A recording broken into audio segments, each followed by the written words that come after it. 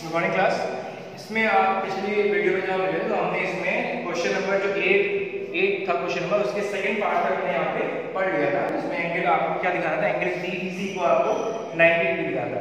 इसको अगर एक बार फिर से देख लीजिए कैसे हुआ 90 डिग्री आपने एएक्सी और बीएमडी को हमने कॉमन दिखा दिया था। कॉमन दिखाने से जो एंगल ये वाला था, वो इसके, वो क्या हुआ था? वो इसके इक्वल आ गया था। ठीक है?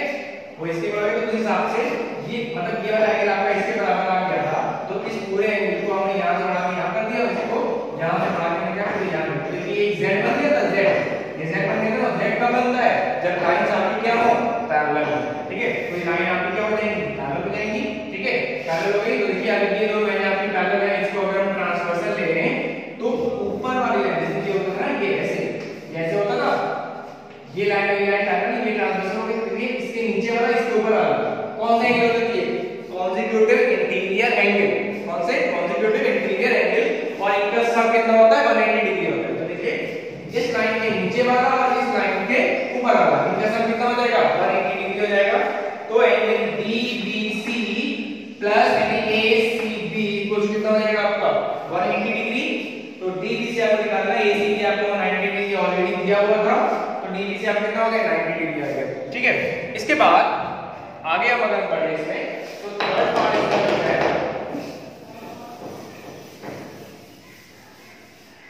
इसका है थर्ड पार्ट है, वो लिखा हुआ है इसमें आपको लिखाना है ट्रायंगल डीबीसी ये जो ट्रायंगल है डीबीसी ये जो ट्रायंगल है, वो एबीसी के कॉमन दिखाना ठीक है? ये जो ट्रायंगल है डीबीसी इसको एबीसी क्या दिखाना है कॉमन दिखाना ठीक? बहुत आसान हो गया आपको ये। अब डीबीसी और एबीसी को क्या करना है आपको एसीबी को।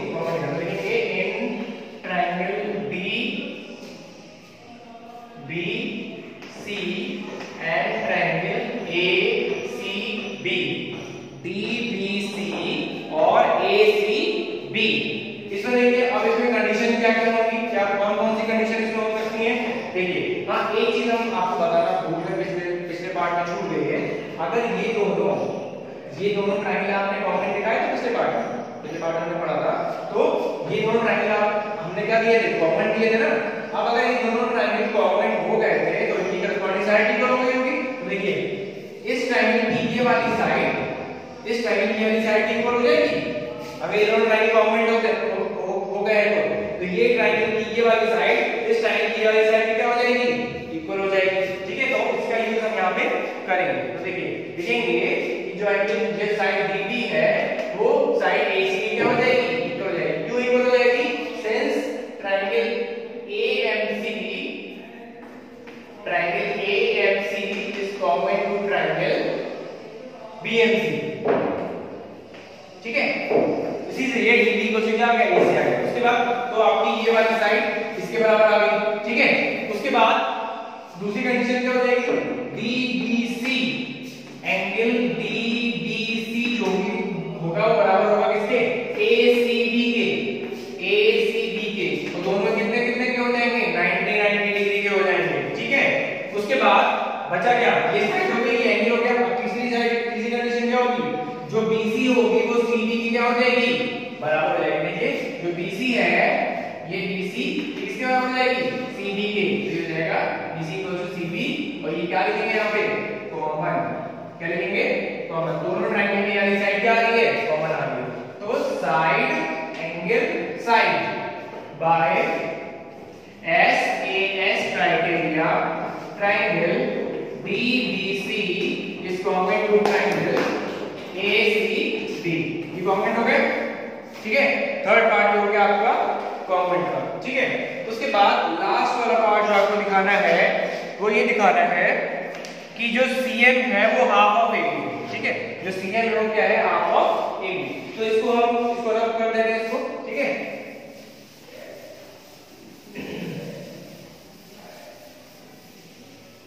CM को दिखाना है ये CM जो है ये हाफ़ ऑफ़ क्या है AB है ये ये जो CM है ये वाली इसको AB का हाफ़ दिखाना है ठीक समझ आ गया हाँ अभी एक चीज़ अभी आगे आपने प्रूफ कर दिया है कि जो DBC ट्रायंगल है अभी आपने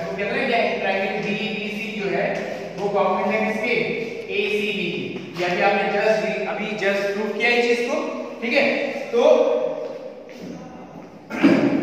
जीबीसी को आपने एजीबी के कॉमन क्या किया प्रूव किया अब करना क्या है?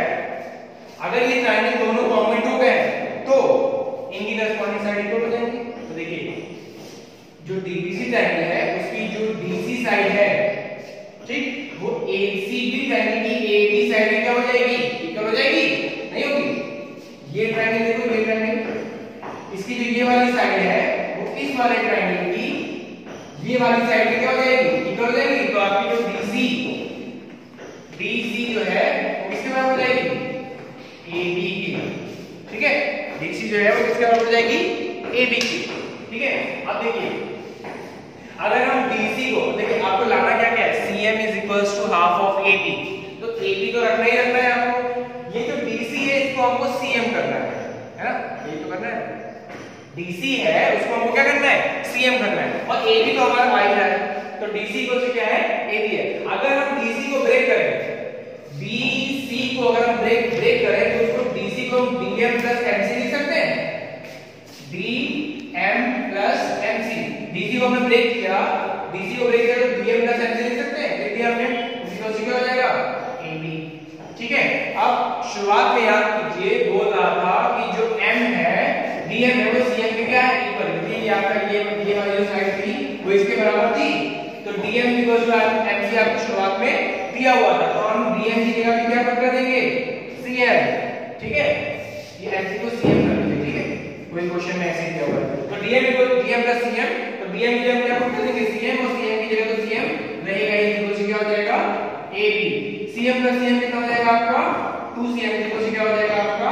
एबी यहाँ 2 मल्टीप्लाई में इधर आके क्या हो जाएगा डिवाइड हो जाएगा तो सीएम इक्वल टू कितना हो जाएगा आपका हाफ़ ऑफ़ एबी क्लियर ये चीज़ हो गई इतना समझ आ गया ठीक है तो यहाँ पर यहाँ पर क्या हुआ कि आपकी जो एक्सरसाइज थी वो कंप्लीट हो गई, ठीक है? इसके बाद आपको नेक्स्ट एक्सरसाइज पढ़नी है, जो कि है एक्सरसाइज 7.2 ठीक है? 7.2 जो है, वो भी बहुत आसान सी है, ज़्यादा टफ नहीं है, ठीक है? कुछ एक क्वेश्चन एक क्वेश्चन या दो क्वेश्चन उसमें ऐसे मिलेंगे, जो कि क्या है, आपको टफ लगेंगे। अदरवाइज़ जो है, पूरी एक्सरसाइज बहुत ही ज़्यादा आसान है, ठीक है? तो उसका कुछ एक्सरसाइज सेवन पॉइंट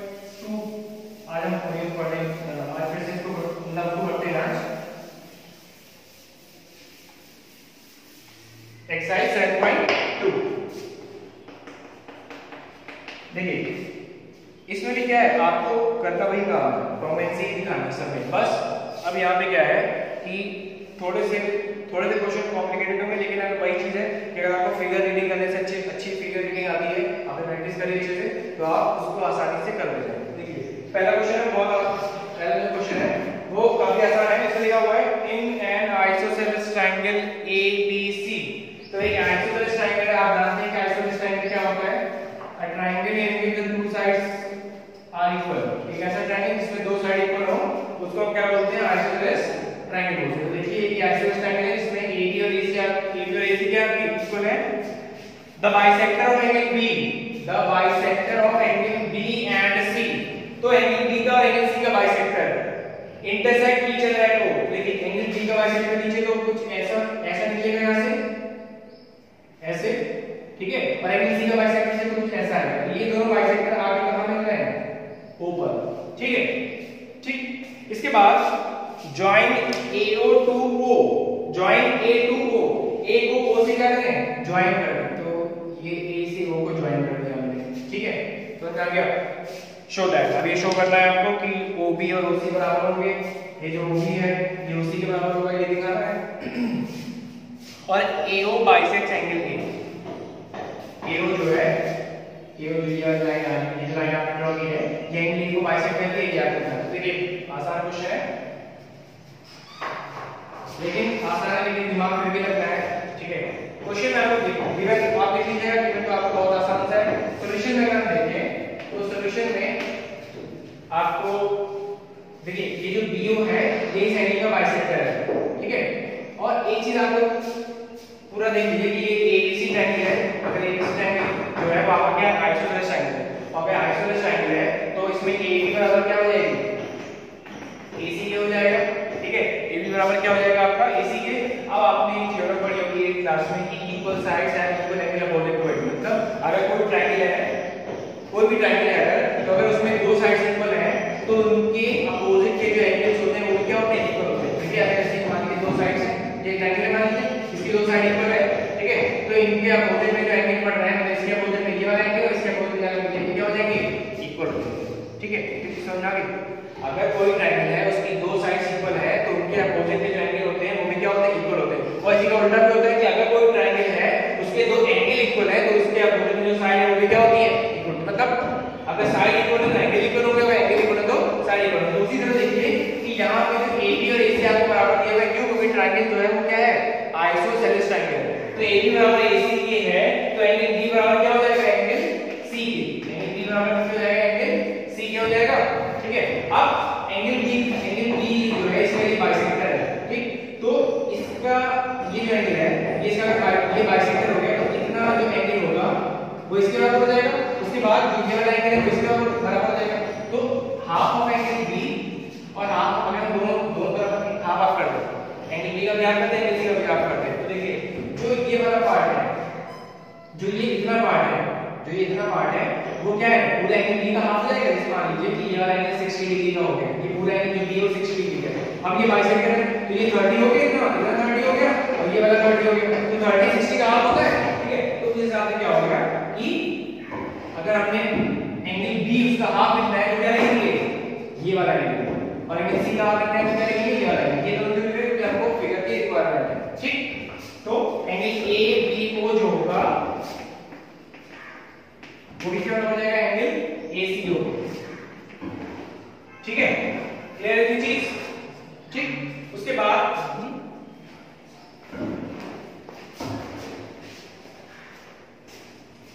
ये वाला ये वाला एंगल आपको दिया हुआ है? ये वाला साइड आपको इसके इक्वल दी हुई है ठीक है? और ये वाला ये वाला एंगल आपका इसके इक्वल आ गया ठीक है? उसके बाद बात आती है कि तीसरा तीसरा आपका, तीसरी आपकी कंडीशन क्या होगा? ठीक है? तो इसमें तीसरी जो कंडीशन होगी, ये साइड आपकी क्या होगी? इसके इक्वल आ ये एंगल आपका क्या होगा? इसके इक्वल आ और ये वाली साइड आपकी क्या होगी? इसके इक्वल होगी। ठीक है? तो पहली in triangle in triangle ABO and triangle ACO ये दोनों ट्रायंगल में ले लेंगे। ABO और ACO ठीक है? ABO और ACO तो इसमें AB बराबर क्या हो जाएगी?